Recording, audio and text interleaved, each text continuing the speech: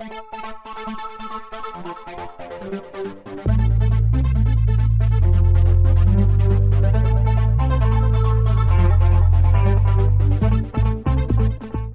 blij zijn jullie met eh, weer de markt in Lemelen? Heel blij. We mogen weer los, eindelijk na twee jaar. Dus eh, nou ja, het weer zit mee. eh, het loopt langzaam maar zeker vol. Dus eh, nee, we zijn heel blij. Hè Adrie? Jazeker, dat, eh, want het is inderdaad, we hebben het twee jaar niet gedaan. Maar dat betekent dat het dus al drie jaar geleden is dat we hier de laatste markt hadden. En eh, dat is natuurlijk eigenlijk veel te lang als het al meer dan 50 jaar plaatsvindt. Dat, eh, Ja, want wat is het specifieke van de Oud-Hollandse markt? Nou, naast de oude ambachten. En eh, nou, dat is van inderdaad eh, de kruutmoes en sjoelen tot ehm, tingieten, de stroopwafels. Ja. We hebben pannenkoeken dit jaar. Dus ja, van alles wat. Hadden jullie gelijk al een beetje een tegenvaller, want de thuiswedstrijd van de Bargzangers die kon geen doorgang vinden. Nee, dat was inderdaad heel erg jammer.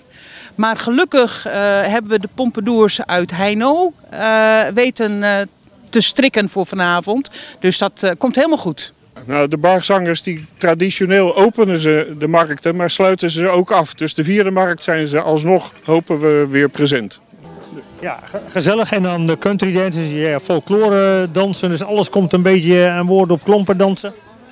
Eh, ja, vanavond eh, de cowboydansers. Ja, En, eh, laatste avond hebben we de, eh, nee, de folkloristische dansgroep uit Hellendoorn. Die zijn hier ook vaker geweest. En die hebben één deel van hun optredens inderdaad met de klompen.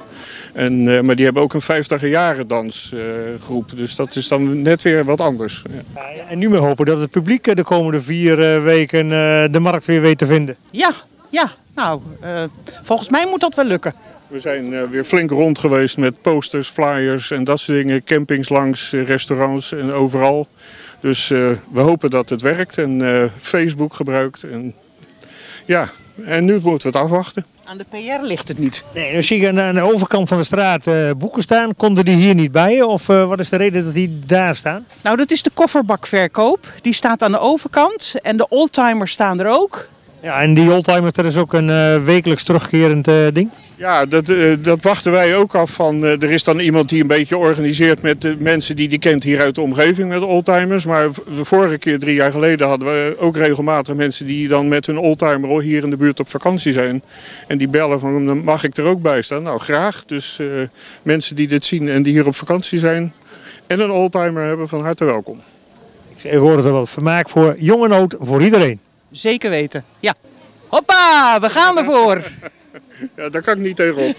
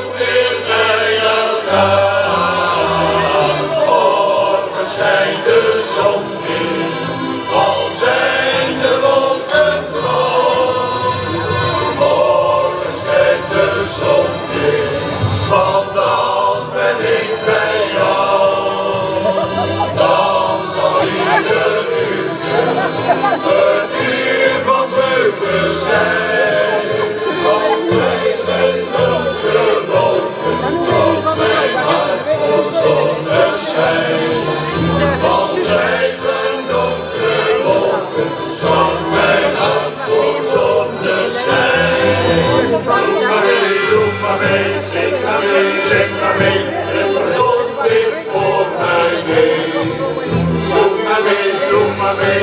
the bell, sing the bell,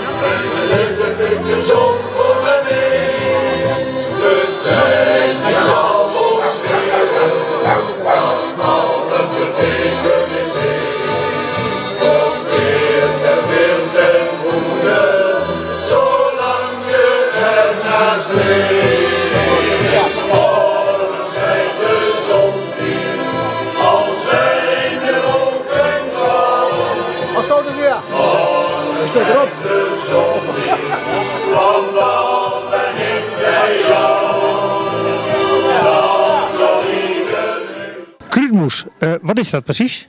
Dat is een heel oud gerecht. Zoals ze vroeger, eh, als ze druk op het land waren, dan hadden ze een pan kruidmoes klaar. Kon in de kelder of ze namen het mee. En dat kun je goed koud eten. Het is heel voedzaam. Ja, eh, van kannenmelk zitten door, dacht ik, en kervel. Kervel en worst en spek en rozijnen en stroop. Wil je het echt niet proberen? Proeven? Ik, ken, ik ken wel kruidmoes. Wel Kruidmoes. Zekers.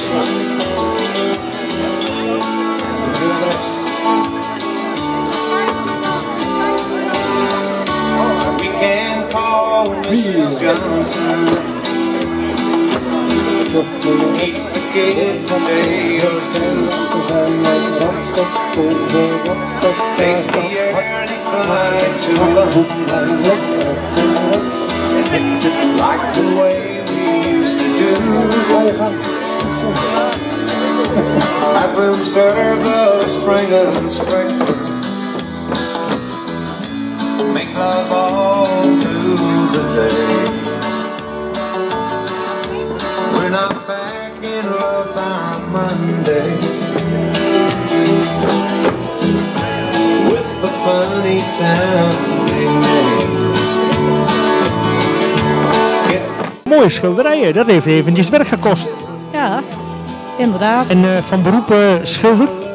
Ja, Dus dit is eh, geen hobby, maar dit is gewoon werk. uit, uit de hand gelopen hobby.